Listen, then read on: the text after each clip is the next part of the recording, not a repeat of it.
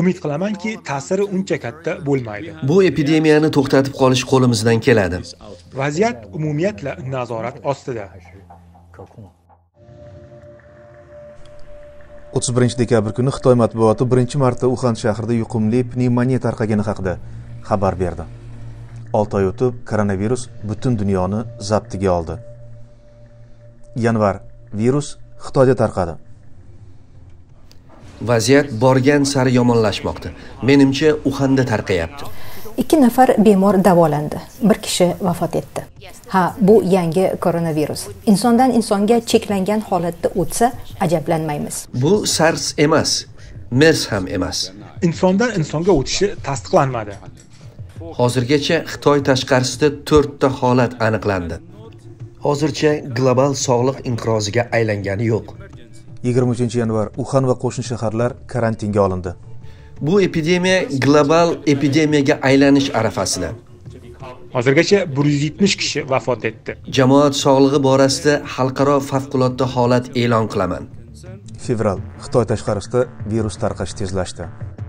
Ikkinchi fevral xitoy tashqarisida birinchi o'lim holati filippinda. O'ninchi fevral xitoyda o'lganlar soni ming nafarga yetdi kasallikka nom berdik. Bu covid 19 shoshilinch choralar ko'rmasak oqibati ayanchli bo'lishi mumkin. Olimpiada o'yinlarini qoldirish yoki bekor qilish rejamiz yo'q. O'n to'rtinchi fevral osiyo qit'asidan tashqarida ilk o'lim fransiyada.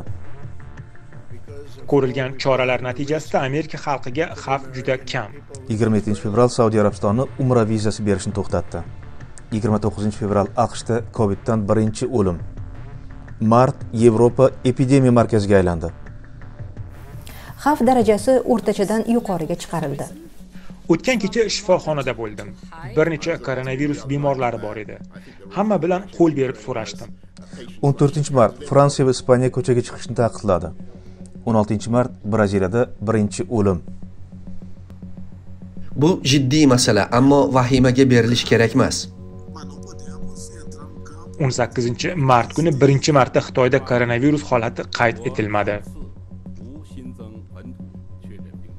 Pandemiya tezlashmoqda. Olimpiada o'yinlarini tashkil etish imkoniyatini ko'rmayapmiz.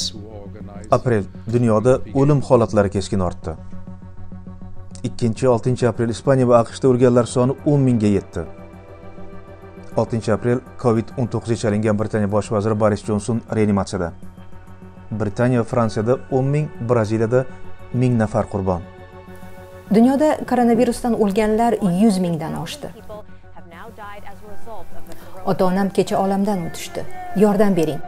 Men jahon sog'liqni saqlash tashkilotini moliyalashtirishni to'xtatishga buyruq berdim.